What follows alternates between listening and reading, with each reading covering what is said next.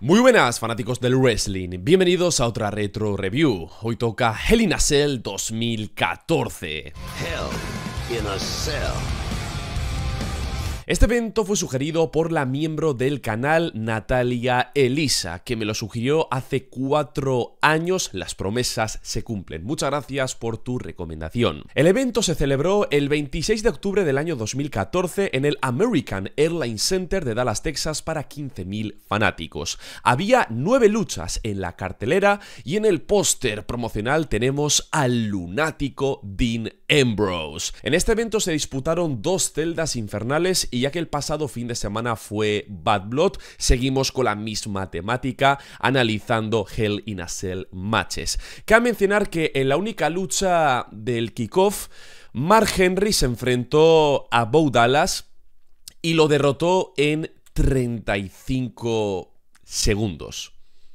En fin, sin comentarios. Una vez comenzada la main card, en el opener Dolph Ziggler defendía el campeonato intercontinental ante Cesaro en una lucha al mejor de tres caídas. En el Raw previo a este pay-per-view, ambos hombres se enfrentaron en un combate no titular y Cesaro logró derrotar a Dolph Ziggler, así se disputó este combate en Hell in a Cell. Ambos hombres le dan duro al llaveo contra llaveo, se ven bastante parejos, después hacen intentos de pin sin éxito, Ziggler se abalanza sobre su rival en el esquinero, Cesaro contraataca lanzándolo contra la tercera cuerda y empieza a darle vueltas, vueltas y vueltas. Lo cubre, pero Ziggler rueda y tras hacer un pin sorpresivo logra la primera caída. Ambos hombres toman un descanso y Cesaro va con toda por su rival aplicándole una uppercut, busa un codazo desde la segunda cuerda pero lo termina fallando. Mientras tanto, Ziggler trabaja su brazo izquierdo, Cesaro responde con un bombazo, después Ziggler lanza su brazo contra la cuerda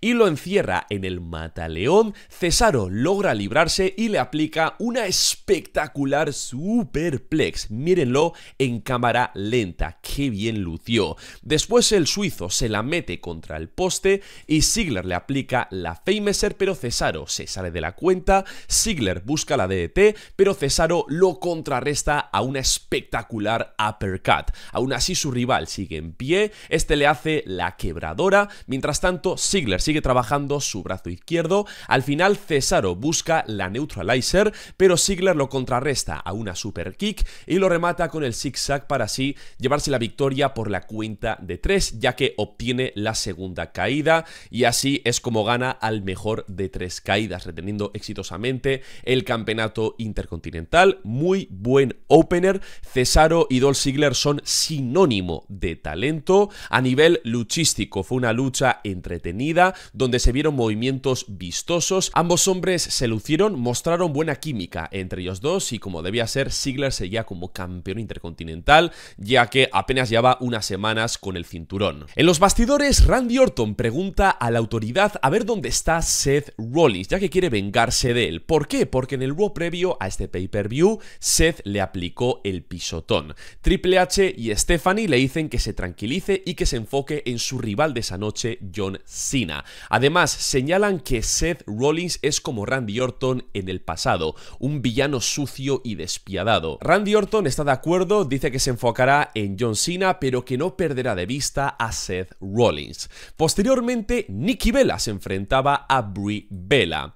En SummerSlam de ese mismo año, Nikki Bella hizo su cambio a ruda, atacando a Brie Bella, y estas dos zanjarían sus diferencias con esta lucha individual en este pay-per-view. Nikki Bella inicia dominante, pegándole un rodillazo a su rival, Brie contraataca con la Facebuster, después le mete un brutal rodillazo y seguidamente conecta un salto suicida que lo medio bochea ya que no llega a la distancia que debería llegar, pero menos mal que Nikki lo recibe bien. Después Brie conecta las patadas voladoras desde la tercera cuerda, sin embargo Nikki la sorprende con el Wack Attack, pero Brie para su sorpresa se sale de la cuenta. La encierra en el Yes Lock, la sumisión de su novio Daniel Bryan, Nikki logra librarse tocando la cuerda y tras aplicar por segunda vez su finisher se se lleva la victoria por la cuenta de 3. Ah, y se me olvidó mencionar que la ganadora de este combate debía ser la manager de la otra durante un mes. Así que Brie Bella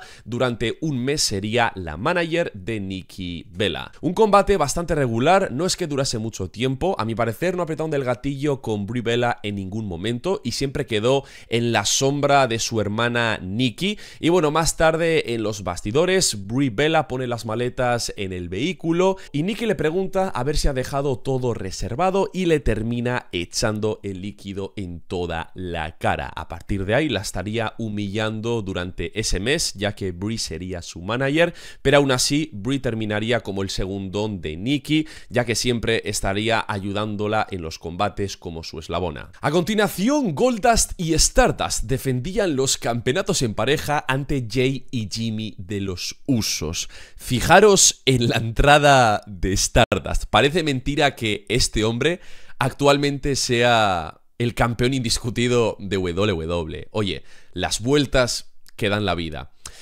En el pay-per-view previo, Night of Champions, Goldust y Stardust destronaron a los Usos, convirtiéndose en campeones en pareja, y durante las siguientes semanas en Raw estarían luchando en diferentes combates hasta que se pactó esta lucha titular. Por cierto, me encanta la entrada de los Usos, ya que al principio hacen un baile tradicional samoano y después suena su tema de entrada que era muy molón.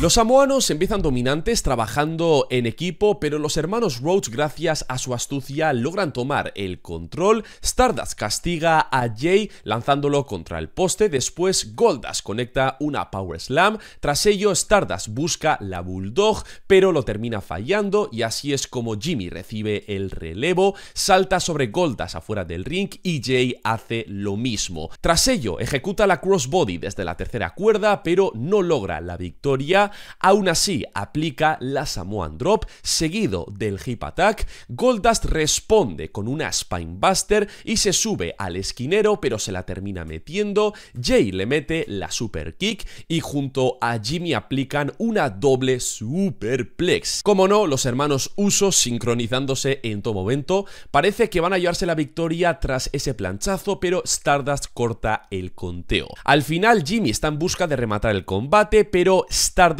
lo golpea por la espalda mientras el árbitro no ve y Goldust aprovecha para aplicar el Final Cut y así darle la victoria a su equipo, reteniendo exitosamente los campeonatos en pareja. Lucha entretenida, bastante dinámica, donde ambas duplas tuvieron un buen desempeño. Sí que el personaje de Stardust a mí personalmente nunca me ha gustado, pero luchísticamente respondía muy bien, con su hermano se compenetraba genial y bueno, qué decir de los usos especialistas en la división en parejas, siempre entregaban buenos combates, así que Stardust y Goldust seguían como campeones en pareja, pero no sería por mucho más tiempo. Prepárense para el fin de una legendaria rivalidad, ya que a continuación John Cena se enfrentaba a Randy Orton dentro de la celda infernal.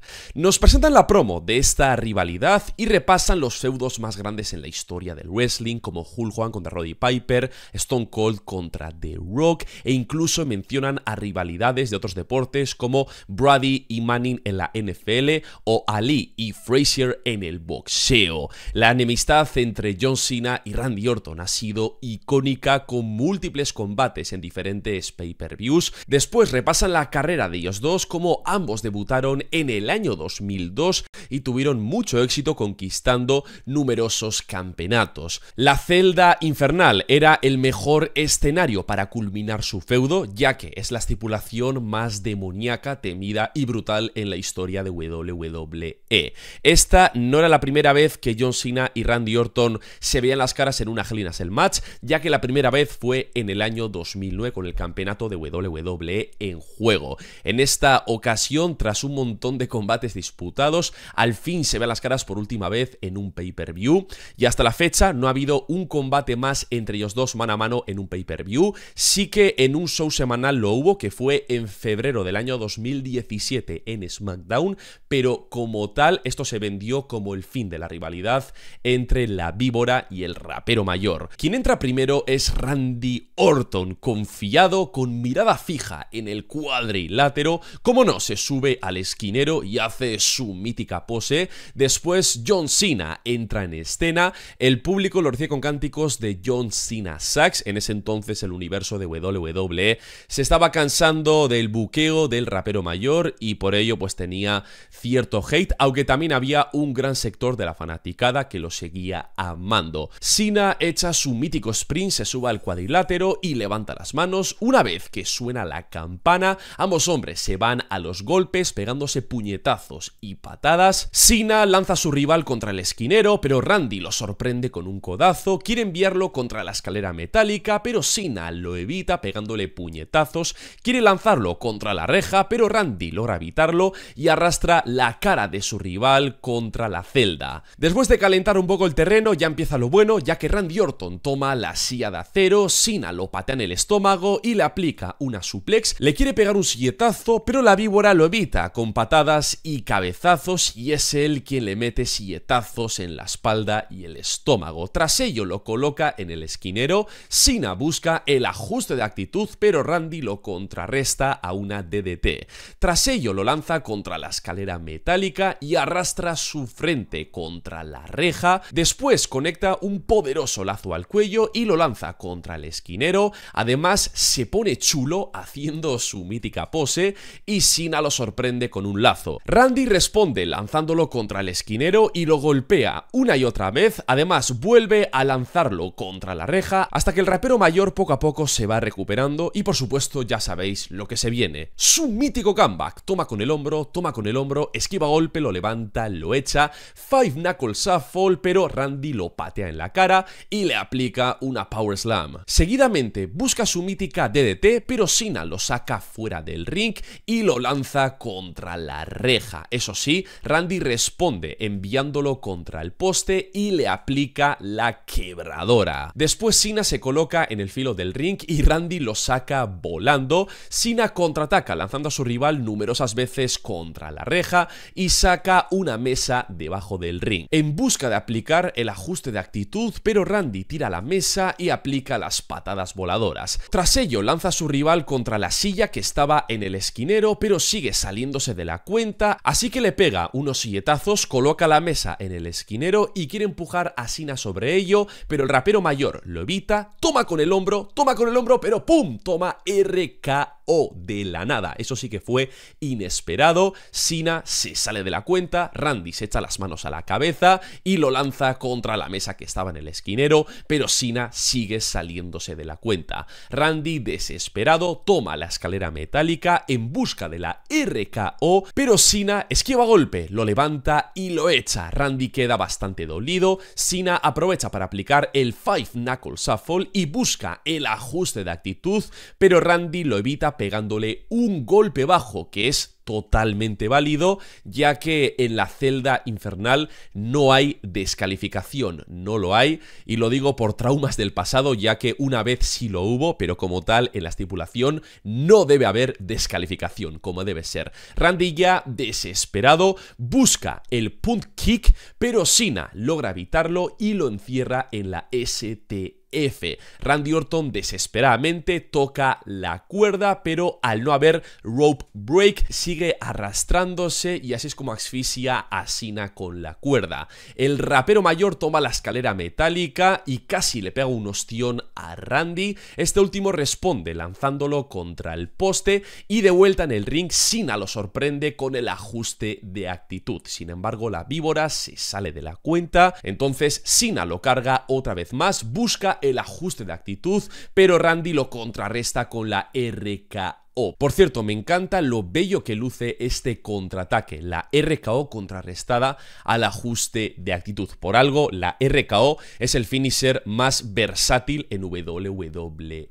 Sina otra vez más sorprende a Randy con el ajuste de actitud, pero la víbora vuelve a salirse de la cuenta. El rapero mayor saca otra mesa, coloca a su rival sobre la misma y se sube a la tercera cuerda, pero Randy llega a tiempo, busca la RKO desde el esquinero, pero Sina lo evita, lo carga sobre sus hombros y lo remata con un súper ajuste de actitud sobre una mesa para así llevarse la victoria por la cuenta de 3. Un tremendo cierre en la legendaria saga entre John Cena y Randy Orton. Hubo una infinidad de finishers, también hicieron uso de la celda. Sí que no fue una Hell in Cell violenta, ya que en ese entonces WWE estaba en la era PG, Vince McMahon estaba al mando y no permitía sangre ni tampoco un alto nivel de violencia. Aún así, al menos se vieron golpes con la escalera metálica, también con la silla de acero y dos mesas rotas. Tanto Sina como Orton resistieron a dos finishers, el combate duró aproximadamente 25 minutos y ese final fue el idóneo para dar por finalizado a esta lucha, ya que Randy recibía un tercer ajuste de actitud que además era desde la segunda cuerda sobre una mesa. Como decía anteriormente, este es el fin de la rivalidad entre Sina y Orton, aunque sí que tres años después, en febrero del año 2017, tendrían un combate individual en SmackDown, pero como tal, dicho combate quedó en un plano secundario, ya que ellos dos rivalizaban como luchadores en aquel entonces, y este en el papel es como si fuera el fin de la rivalidad entre ellos dos.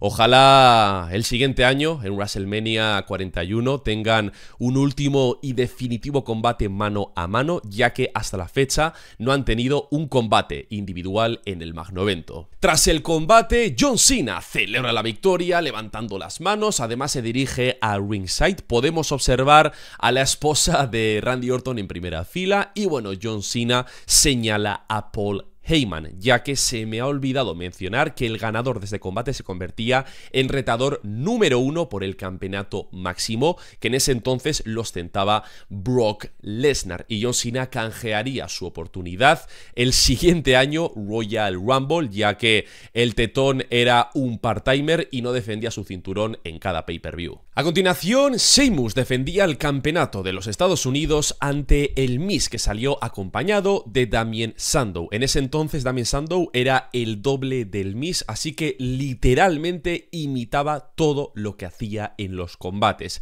Y es lo más llamativo y gracioso de esta lucha, ya que cada vez que el Miss recibe golpes del guerrero celta, Damien Sandow lo vende a lo pendejo. Seymus le pega los 10 putazos en el pecho a su rival, después el Miss accidentalmente golpea a su compa Damien Sandow. El guerrero celta aprovecha para aplicar la Rolling Senton, seguido de un lazo desde la tercera cuerda, después aplica la quebradora, el Miss contraataca lanzándolo contra el esquinero, le aplica la neckbreaker, después una DDT, Seymus responde con la body slam pero se distrae con Damien Sandow y el Miss aprovecha para ejecutar la Skull Crushing Finale, pero Seymus se sale de la cuenta. Al final, tanto el Miss como Damien Sandow saltan desde el esquinero, Seymus aplica la Bro Kick y se lleva la victoria por la cuenta de 3, reteniendo exitosamente el campeonato de los Estados Unidos, pero esto aquí no termina, ya que Damien Sandow empieza a imitar al Miss, Seymour echa unas risas y le aplica otra bro kick al Miss. Una lucha entretenida más que nada por el personaje de Damien Sandow, ya que era una mamada como imitaba al Miss en todo momento. Y así es como Seymus retenía su cinturón, que su reinado tampoco fue una maravilla,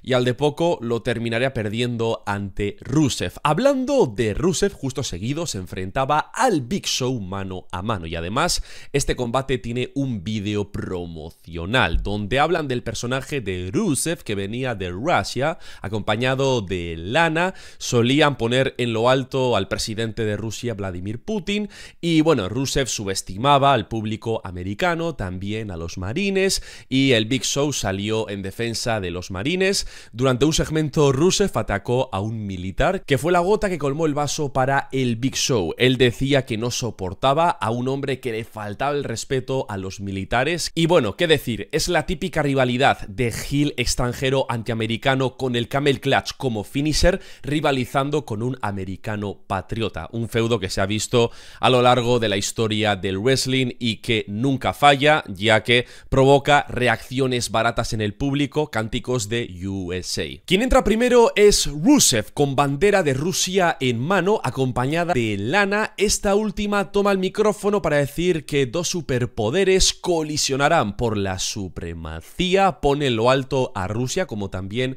a Vladimir Putin y como no el público hace cánticos de USA.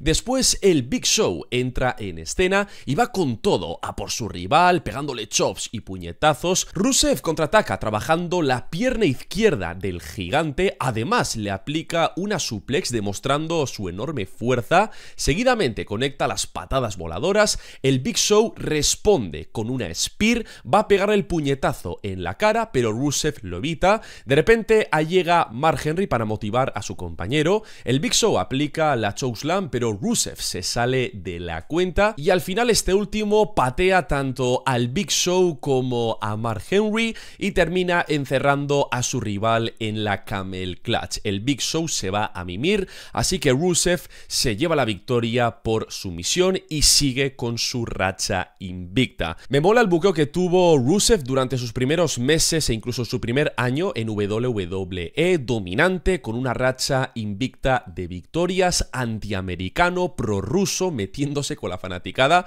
pero desgraciadamente todo se fue a la mierda cuando John Cena lo derrotó. Aún así, bueno, combates como estos servían para construir el personaje de Rusev, aunque sí que la historia de americano contra antiamericano es muy repetitiva, se ha visto en un millón de ocasiones. Es una historia que funciona, ya que el público de WWE es muy fácil de manipular, pero vamos, cuando ves una historia una y otra y otra y otra vez a lo largo de los años, termina cansando. Si nos referimos al combate, fue bastante normal, dura aproximadamente 7 minutos. Lo importante fue el resultado, donde Rusev limpiamente derrotaba al Big Show y así seguían dándole más y más credibilidad. En backstage, Dean Ambrose recuerda que Halloween será ese viernes y que el disfraz más popular será el que luzca Seth Rollins después de que termine con él esa noche. En la lucha preestelar, AJ Lee defendía el campeonato de divas ante Page. Estas dos habían rivalizado durante meses y meses, el título cambió de manos más veces que las cariñosas y este combate daría por finalizado a la rivalidad.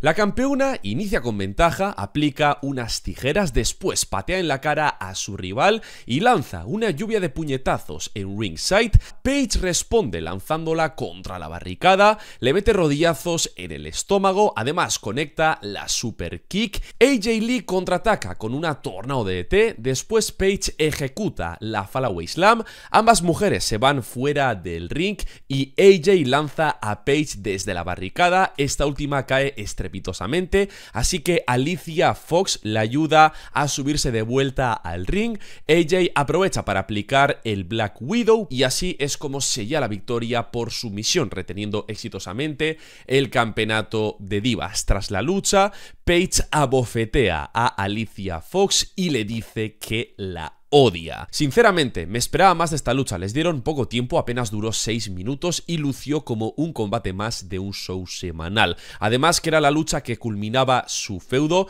yo al menos creo que merecían 10 minutos para que el combate tuviera su debido desarrollo, pero terminó apresuradamente con AJ Lee llevándose la victoria y continuando con su reinado histórico como campeona de divas donde estuvo prácticamente 10 meses con el cinturón. Y bien, en la lucha estelar Seth Rollins se enfrentaba a Dean Ambrose dentro de la celda infernal.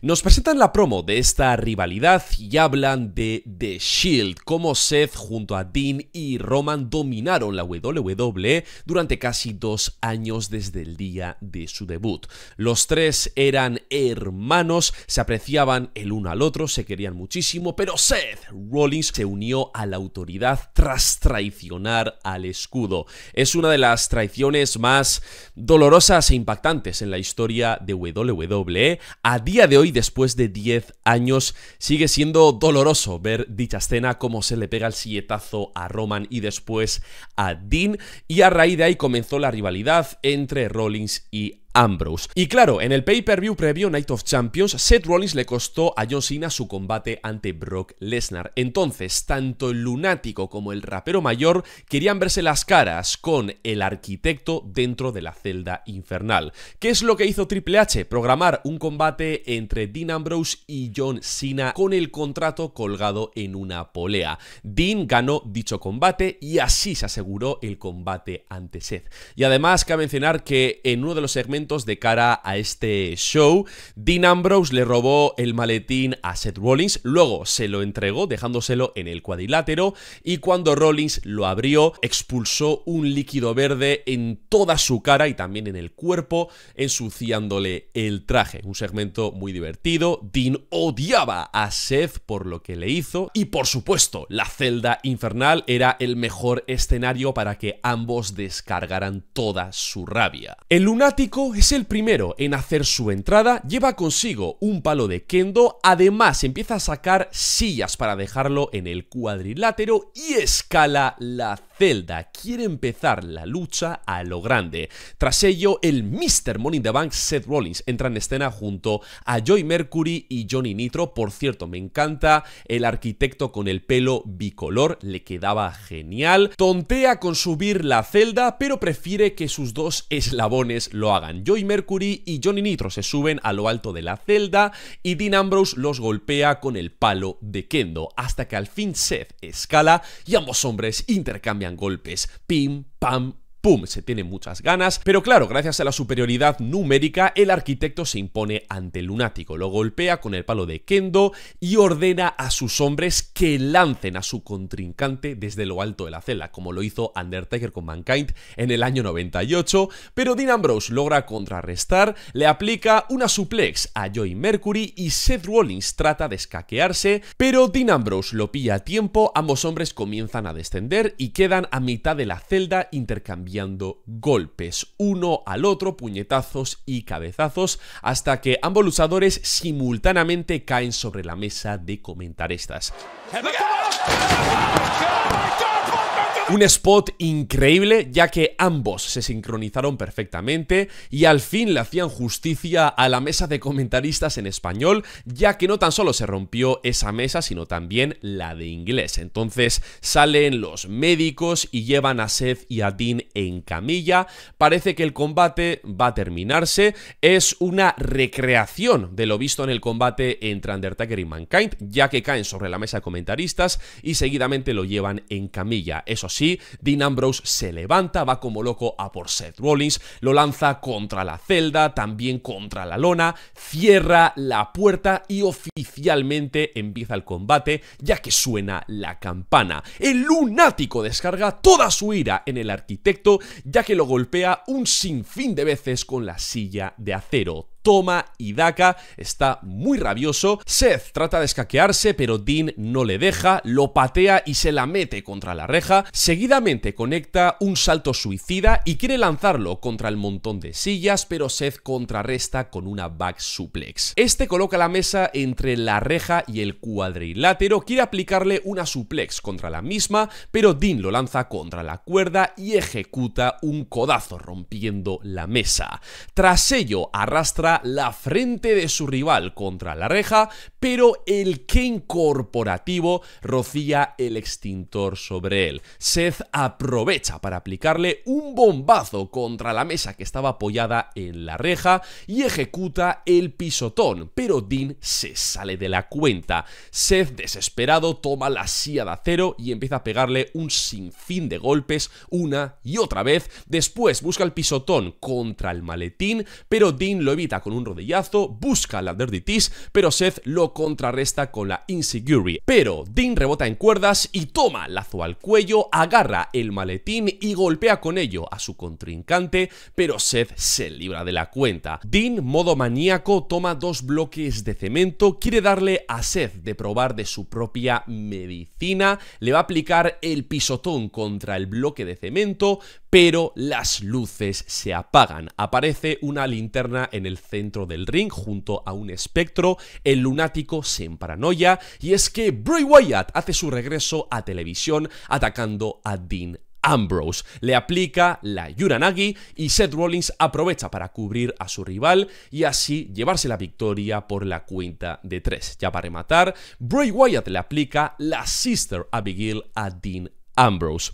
Primero que todo, me sorprendió que esta lucha fuera el estelar de este pay-per-view por encima de un John Cena contra Randy Orton que además finalizaba el feudo entre ellos dos. Me cuesta mucho creer que Vince McMahon programase este combate como el estelar cuando esto rompía con todos sus esquemas. De verdad, es muy extraño que dada estas circunstancias John Cena contra Randy Orton no sea el estelar. Imagino que la razón de que no fuera estelar era por el regreso de Bray Wyatt, ya que lleva unos meses fuera de televisión. Ahora, refiriéndonos al combate, es una gran Hell el match donde Dean y Seth se dan durísimo. El spot más memorable es esa caída a la mesa de comentaristas. Me gustó que el combate iniciase en lo alto de la celda y luego oficialmente dieran comienzo a la lucha una vez que ambos estaban dentro del cuadrilátero tras la caída sobre la mesa de comentaristas. Dean Ambrose le dio su merecida paliza a Seth Rollins, algo que fue sumamente satisfactorio ya que el arquitecto traicionó al escudo.